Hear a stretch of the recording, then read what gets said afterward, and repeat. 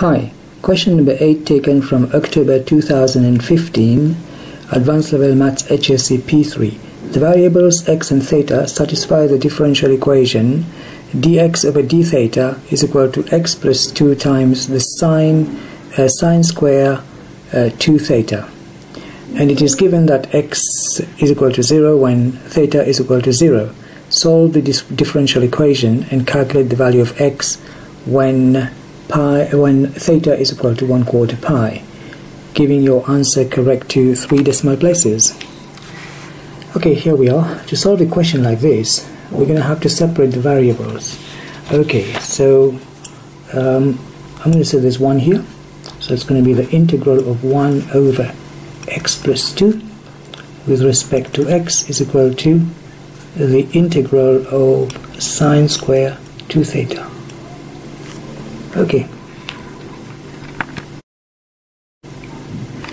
Right, so how are we going to deal with this? Now this is pretty straightforward. We're going to say the integral of 1 over x plus 2 is ln x plus 2 is equal to the integral of sine squared 2 theta. Now this is a bit problematic. Let us take a look at what we recall. We can know that cos of 2x can equal to 1 minus uh, 2 sine square x. See, there's a sine square here, a sine square here.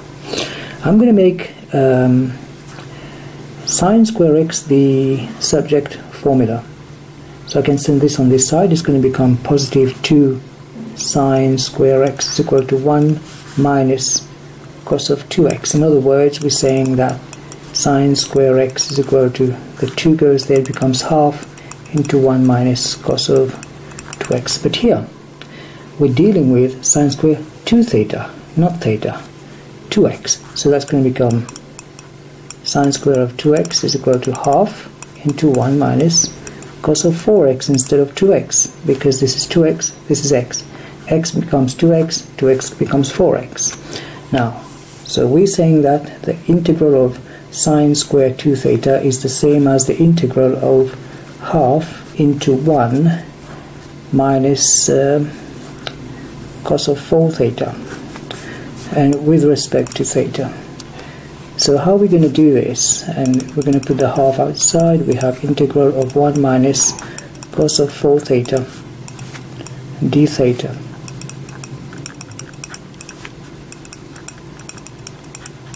That's going to become half. You integrate 1, you get theta. You integrate this, you're going to get minus uh, 1 quarter because you have to differentiate 4 theta, it becomes 4 and you divide by 4 and you're going to get sine. When you integrate cos you get sine, sine of 4 theta in brackets of course. So x plus 2, ln x plus 2 is equal to half of theta minus 1 8 of sine 4 theta, right? And now we're told that um, when, well, I mean, x is equal to 0 when theta is equal to 0. So how can we with We're going to replace all of that by 0. So if you put 0 here, it's going to become 0, 0 plus 2. So ln 2 is equal to half times 0 is 0. 1 over 8 times sine of 0 is 0. And then plus the a of course. So we have a right because this uh, if you put you substitute theta is equal to 0 in here sine of 0 is 0 0 yeah that's fine. So a is equal to ln 2 what is the equation again? It is ln x plus 2 is equal to half of theta minus 1 upon, 1 upon 8 sine of 4 theta plus a a is ln 2 now we need to find x. When theta is equal to pi upon 4.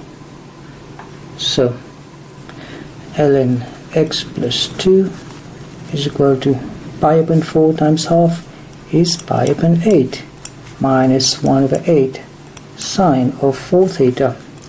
4 theta is 4 times pi upon 4. That is going to give us theta, is going to give us pi. 4 goes out, we're left with pi. So this is pi plus the ln 2 and this here is going to be 0 because pi is 180 degrees. Sine of 180 degrees or sine of pi is equal to 0 therefore we're left with ln x plus 2 is equal to pi upon 8 plus ln 2 solving for x we're going to say x plus 2 is equal to e to the power of pi upon 8 plus ln 2 and x is equal to e to the power of pi upon 8 plus ln 2 and you send the 2 on the other side becomes minus 2 what we need to do now is just put it in a calculator. So I'm going to say uh, pi upon 8 plus ln 2 alright ln 2 and then we're going to say exponential e to the power of um, this whole answer here.